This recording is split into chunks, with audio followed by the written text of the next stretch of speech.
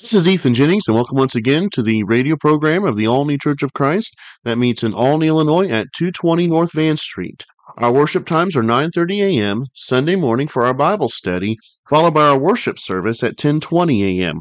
We also meet again at 2 p.m. on Sundays for our uh, afternoon worship service, and we meet on Wednesdays at 7 p.m. for another Bible study. All are welcome to come and attend as we study God's Word at any of those times. We'd be glad to have you. If you have any questions about what is uh, what is said on the program, you can give us a call or text at 765 280 6855. That number again is 765 280 6855. Uh, you can also go to our website, olneychurchofchrist.org, to see some of our sermons and uh, past bulletins. And we also have a Facebook page where you can look at the articles that have been uh, in more recent bulletins. And you can also call that number again. That's 765 280 6855. If you have any questions about some of the things you read uh, on in those articles or here in those sermons. Uh, or if you would like to have a one-on-one Bible study, you can call uh, that number or text that number uh, as well. And we want to encourage you to send us uh, your Bible questions as well. Uh, you can either text them to me at that number. Again, it's 765 280 6855, or you can uh, mail us your questions and you just address them to the Olney Church of Christ, 220 North Van Street, P.O. Box 683, Olney, Illinois 62450. Again, that Mailing address is the Olney Church of Christ, 220 North Van Street, P.O. Box 683, Olney, Illinois 62450. We're going to pick certain days depending on, uh, again, how many questions we get, certain uh, Sundays to answer as many of those questions as we possibly can. And again, I encourage you to do that. We're more than happy to go to God's Word for an answer, and that's what we'll do uh, on the radio program uh, on those days we pick out. Uh, last week we uh, began again. I'm the new preacher here. Uh, my name's Ethan Jennings again, and uh, I started back in September. Again, Roger Hillis uh, finished out the radio program last year for us. Uh, very good, faithful man. I, I, thank him for doing that for us. Very, very good studies in the Book of Acts that he did there throughout. well, till the close of the year. Very good studies this uh, today we're actually going to continue uh, something we began last week, just kind of a really a part one, part two thing uh, that we're doing here on the program. Last week we, uh, uh, we we decided to answer the question who we are. Who are we at the Olney Church of Christ? We saw uh, various different things. Of course, we're God's people. We're part of God's family, God's household. we're Christians. Uh, and things like that. But uh, just different things like that. But we're also uh, we're, we're continuing that today, and we're going to be looking at the subject of who we are not, uh, just to help you also get to know us through that as well, because it's also important to understand who we are not. Uh, as well as who we are. And so that's what we're going to continue on and look at today. If you will go ahead, open up your Bibles over to the book of Colossians, chapter 1. Uh, Colossians chapter 1, we're going to look at verse 18 uh, here in just a, a, brief moment. Colossians chapter 1 in verse 18. There in Colossians chapter 1, verse 18, this is what Paul had to say. One of the things, uh, before I do read that verse, one of the things I want to point out through through that verse is the fact of who we are not. So one of the things who we are not. And the thing is, we among the Olney Church of Christ are not a denomination. Colossians chapter 1 verse 18 says this. He is also a head, this is talking about Christ, head of the body, the church. He is the beginning, the firstborn from the dead, so that he will come to have first place in everything. Now, someone may ask, uh, well, why do I quote that verse about uh, Christ being the head of the body, the church? Well, the body, again, the body is being described as the church. Turn over, if you will, uh, with me to Ephesians, the book of Ephesians. A couple cha- uh, couple uh, books of the Bible back to Ephesians chapter four. Ephesians chapter four concerning the body. which is again the church. The Bible describes that both in Colossians and Ephesians. This is what it says in uh, in chapter four, uh, beginning there in verse four. It says, "There is one body." You see, Christ never intended to build a whole bunch of denominations. He built one church. Look over in Matthew chapter 16, verse 15. Matthew chapter 16 and verse 15. I want you to notice what Jesus said there in Matthew chapter 16. Uh, and I, and I apologize, I said verse 15, I mean verse 18. Uh, uh, again, Matthew chapter 16, verse 18, it says, I also say to you that you are Peter, and upon this rock I will build my church. Is what he says. I will build my church, and the gates of Hades will not overpower. You see, Jesus didn't build a whole bunch of denominations. He didn't build a whole bunch of churches. He built one church. That's the Lord's church, the church of Christ. You see, I'll tell you this right now. There, there was not a single denomination in the world until over a thousand years later, uh, sometime after the death of Martin Luther, when folks decided to start a denomination in his name. Uh, and according to different uh, sources, uh, there are over three, uh, 33,000 uh, denominations today. The number that I have right here is 33,800. Now, some folks want to dispute that number, and they have every right to do so. They they may be uh, truthful in what they're saying. They say that uh, some of the uh, denominations there are just kind of being doubled. Like if you have one denomination in America and then you have one in another country, and they're both of the same denomination, they they would count that as two different denominations in that study, not one. Uh, and so there's a lot of uh, there may be some inaccuracies in that. Some people want to debate it might be closer to like 150 or 300. Uh, and even still, though, whether 33,000 or 300 or 100 or even 10 or 5 or even 2, even 1, the Lord did not establish a denomination. He didn't establish a di- bunch of divisions of churches. He built his one church. Yet so many folks have failed to see that.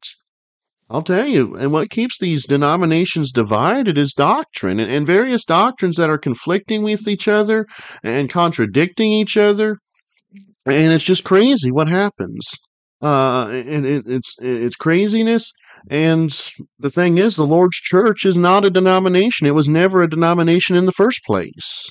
Uh, that's the Church of Christ, the Lord's church. We are not a denomination. But also, we, uh, uh, among the Olney Church of Christ, we are not an afterthought of God. Some teach uh, this doctrine, and we'll get on it, uh, and we'll we'll talk about it sometime, uh, sometime here on the program. But one of the things that some people I'll tell you, they'll teach it in the religious world, and even some churches of Christ teach this, and they've fallen into this error. Is they teach this doctrine we, we've come to call uh, premillennialism. And the thing is, when it comes to premillennialism, uh, it's the belief that uh, Christ is going to reign on earth for a thousand years, uh, which comes from taking Re- Revelation chapter 20 uh, out of context and really destroying the meaning of the passage. Uh, but again, some people, what they do is they say that that was actually what Christ's first, what, what, what he was supposed to do when he first came. He was supposed to actually establish a kingdom on earth the first time he came. Uh, many denominations teach this. I'm not going to say all of them do, uh, but many of them do. That Christ came here to earth, and he uh, his, the first thing he well not the first thing, but the thing he was supposed to do when he came down here was establish an earthly kingdom. Uh, the Jews rejected him because they were so wicked, and so therefore God set up the church as kind of a last minute thing, a afterthought, something God had never even planned in the first place. That's what the church is, according to so many different people. Well, I'll tell you this right now. The Lord's church, the church of Christ, the church that Jesus built, is not an afterthought. The congregation here in Olney We are not an afterthought of God. Ephesians uh, chapter 3. Turn over there, if you will. Ephesians chapter 3, noticing verses 10 through 11. Ephesians chapter 3, verses 10 through 11. Again, there's going to be uh, there's going to be a, uh, come a time, Lord willing, uh, that we'll get deeper into this subject. But I just want you to notice this idea of the church being an afterthought of God, something that he came up last minute, something that he didn't even plan. This is what it says in Ephesians chapter 3, verses 10 and 11. It says, So that the manifold wisdom of God might now be known, be made known through the church to the rulers and the authorities in the heavenly places. Notice verse 11 now. It says, This was in accordance with the eternal purpose which he carried out in Christ Jesus our Lord. And so just notice that. It says that this all was part of the eternal purpose to make known through the church the manifold wisdom of God. This was something that was not an afterthought. This wasn't a last minute thing. This was something that God had planned. You can read about that also uh, through Romans chapter 8 and 9. Uh, you see this throughout uh, the scripture, especially if you look in Daniel chapter 7, verses 13 through 14. Uh, turn over there, if you will. Daniel uh, chapter 7, verses 13 through 14. It says in Daniel chapter 7, verses 13 through 14, I kept looking in the night visions. And behold, with the clouds of heaven, one like a son of man was coming. And he uh, came up to the Ancient of Days and was presented before him. And to him was given dominion, glory, and a kingdom. Now, people say, well, why is that kingdom not on earth? Well, I'm going to tell you this right now, ladies and gentlemen. This prophecy came true. The kingdom is already here. Now let me t- now let me show you where it is. If you actually turn to the book of Matthew, you'll, Matthew, you'll actually uh, see both John the Baptist uh, and Jesus both were preaching, they would say, Repent, for the kingdom of heaven is at hand. Uh, they said that the kingdom was coming. Uh, and it depends on your translation. I think some say kingdom of heaven, some say kingdom of God. Uh, but the point is, there was a kingdom coming. Well, when did this kingdom come? Notice with me Colossians. Turn over there, if you will. Colossians, back in Colossians chapter 1. I want you to notice with me what he says about a kingdom here. Uh, Colossians chapter 1, verse 13, he says, For he rescued us from the domain of darkness and transferred us to the kingdom of his beloved Son. In Revelation chapter 1, uh, if you look over there, different translations uh, will actually say, He has made us a kingdom. Uh, there in Revelation chapter 1, turn over there, Revelation chapter 1, Verse 6 And he has made us to be a kingdom. Revelation 1, verse 6. He made us to be a kingdom, priests to his God and Father. To him be the glory and the dominion forever and ever.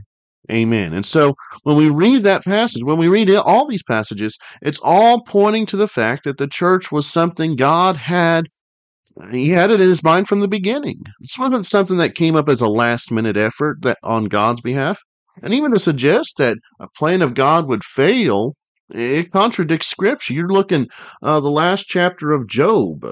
Uh, turn over to Job, if you will.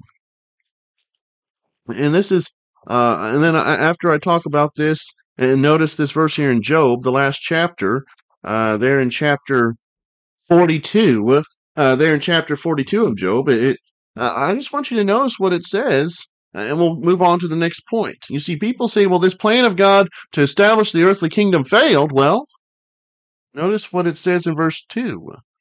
I know that you can do all things and that no purpose of yours can be thwarted.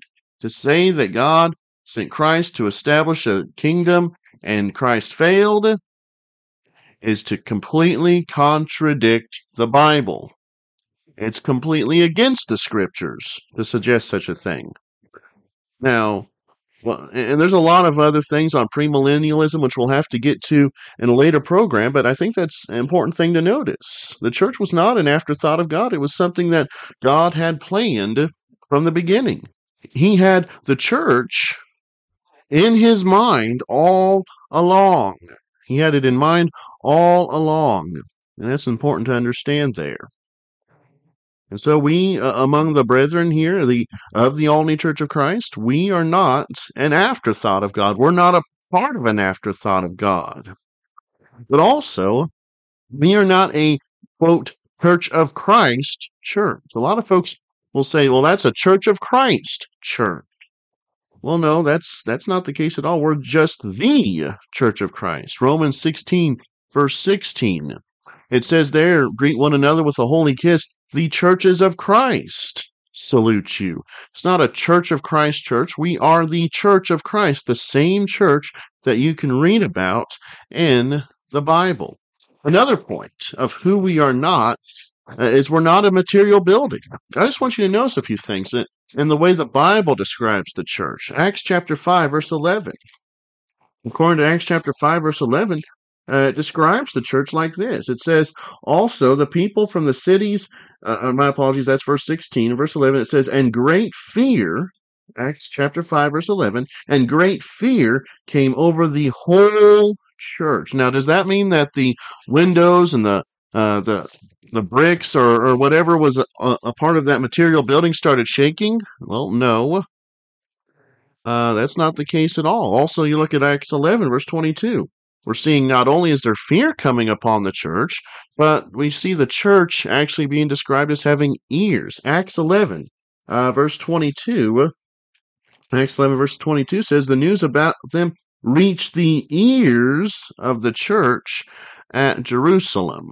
Again, Acts 14, verse 27, it talks about the church being, ga- uh, being gathered together. Acts chapter 14, verse 27, it says, when they arrived and gathered the church together. Now, what does that mean? Did the church fall apart? They started grabbing the pieces and uh, putting it back together or gathering all the pieces together? Well, of course not.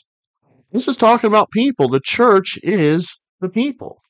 And so we at the Olney Church of Christ, we make up a local congregation of the church. The church is not a material building. We are not a material building. But also, we are not in the majority. Matter of fact, God's people have always been in the minority. If you actually study the scriptures uh, long enough, you'll see that. De- Deuteronomy 7, verse 7, notice this. Back in the days of Israel, when the Israelites were the people of God, this is what uh, God had to say. Verse uh, Deuteronomy 7, verse 7. It says, The Lord did not set his love on you, nor choose you, because you were more in number than any of the peoples. Notice this next phrase for you were the fewest of all peoples. Notice that right there. Back in the days when uh, the Jews were God's people, they were, they even were in the minority. You can also see this in Matthew 7, verses 13 through 14, talking about not uh, uh, not entering through the wide gate. Why? Because uh, the, wide is the gate that leads to destruction, and there are many who find it. But of the narrow gate, we're supposed to enter through that because it leads to life, and there are few that find it. And so, whether you're talking about the days of the Jews, these days we're living into the uh, today, or, or let's just say the end of time, God's people have never been in the minor or in the majority. And that's, I think, what we're going to see as well throughout the years. And the Bible even makes it clear that's going to be the case at the end of time. Before we continue on, though, and continue on through these uh, different uh, examples of who we are not, and different things, uh, descriptions of who we are not. Uh, I just want to remind you that this program is uh, brought to you by the Olney Church of Christ that meets in Olney, Illinois at 220 North Van Street. Uh, again, our worship uh, worship times are 9:30 a.m. Sunday morning for our Bible study, followed by our worship service at 10:20 a.m. We also meet again at 2 p.m. on again Sundays for our afternoon worship service, and we also meet on Wednesdays at 7 p.m. for another Bible study. And again, All are welcome to come and attend as we study God's Word and strive to worship Him in spirit and in truth. Uh, at any of those times, we'd be glad to have you. And if you have any questions about what is said on the program, uh, what has been said, uh, and what uh, you may have heard on a past program, you can give us a call or text at 765 280 6855. Again, that number is 765 280 6855. Uh, you can go to our website, olneychurchofchrist.org, to see uh, some of our sermons and uh, past bulletins, and we have a Facebook page where you can look at uh, some of our articles as well. And you can also call that number 765 280 6855 if you have any questions about some of the things you've read or heard on uh, any of those uh, sermons or articles. Or, if you'd like to have a one on one Bible study, you can call uh, that number as well. We're more than happy to uh, study one on one with folks. And we want to encourage you to send you, uh, to, excuse me, to send us your Bible questions as well. Uh, you can either text them to me again at that number 765 uh, 280 6855 or mail us your questions. And you can mail those to the Olney Church of Christ at 220 North Van Street, P.O. Box 683, Olney, Illinois 62450. Again, that mailing address is the Olney Church of Christ, 220 North Van Street, P.O. Box 683, Olney, Illinois 62450. We're going to pick again some certain Sundays depending on how many questions we get. Uh, and we're going to take as much time as we can to answer uh, th- those questions. And I encourage you to do that. We're more than happy to go to God's Word uh, for an answer. And we'll answer those questions again based off of God's Word uh, on the program. And so, uh, but as we continue our, our look at who we are not here uh, among the Olney Church of Christ, we're not a social club. I'll tell you, some churches become social clubs. They uh, I hear of churches installing uh, coffee places in there, and I, again, I don't know how much truth there is to that, but I'm hearing stories of churches uh, installing like coffee shops in their own in their buildings and stuff like that. Uh, but even besides that, some people have uh, dining rooms in their church buildings and things like that, and they get so focused on uh, having physical meals and getting all into the social activity world uh, the problem is, well, notice how the Bible describes the church. Look over in Romans chapter 14, verse 17, if you will, uh, with me. Romans chapter 14, verse 17. Again, we've looked at this and we've talked about the kingdom, understanding that the kingdom of God is the church. Notice with me Romans chapter 14 and verse 17. It says, The kingdom of God is not eating and drinking. Notice that right there. The kingdom of God is not eating and drinking, but righteousness, peace, and joy in the Holy Spirit. And so, again, that when people try to turn the church into a social club, that's not what we are. That's not uh, what we what, what the Lord's church is in any way, shape, or form. That's not who we are here uh, at the uh, among the Olney Church of Christ. And I'll tell you some other things we're not. We're not a political organization. We're uh, commanded to respect the government, uh, regardless of whether they agree with us or not on certain things. Uh, I'll tell you, many denominations, and sadly, even uh, some uh, folks who uh, are part of the Lord's church who have gone into error, they've turned their facilities over to political use.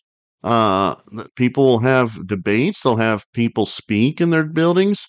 Uh, that's not what the church is supposed to be all about. Uh, starting up all kinds of political things. Uh, that's not what the Olney Church of Christ is. Uh, and also, uh, based on all of this, we're also not a man made church wearing human names. Again, we're not a denomination. We're not some church that was made by someone hundreds of years ago. People like to call us the Campbellites, uh, which I know I never even knew about whoever Campbell uh, Alexander Campbell was until I think it was two or three years ago. So uh, that just doesn't make any sense to pe- for people to kind of throw that name around as a really a derogatory term, if you will, is really what it is. Uh, but we're not a man made church wearing human names. We go by the scriptures. We go and we say, let's be the same church that you can read about in the Bible. Let's be the same people that you can read about uh, again in the New Testament. Christians, not holding any other name. Uh, we don't go by we don't go by Lutheran Church. That's not a Bible name. We're not wearing a human name. Methodist, Baptist, Catholic, those are all human names. Those aren't those aren't names you're going to find in the Bible. We go by what the Bible says. We are the church of Christ, the church that Jesus built. We wear his name. And that's very important. Having uh, thought about all these things we've talked about, about who we are not, and maybe you remember what we've talked about again on who we are from last week. Perhaps you're listening to the program and you want to become a part of God's people. You want to become a part of the Lord's church. Uh, you, you want to uh, obey the gospel, become a Christian. I'll tell you exactly how you can do that. And you can be added to the Lord's church, the family of God, the kingdom of God. That's who we are. We're God's kingdom. We're we're his, we're a part of His family, and you can become a part of that family. And I'll tell you exactly how you can do that. The Bible makes it very clear on what we must do in order to be saved. First of all, you have to believe in Jesus. John 3, verse 16 uh, says very clearly For God so loved the world that he gave his only begotten Son, that whosoever believes on him should not perish, but have everlasting life. You can read about that also. Uh, similar uh, words concerning how faith is required to be saved uh, in Hebrews chapter 11, verse 6.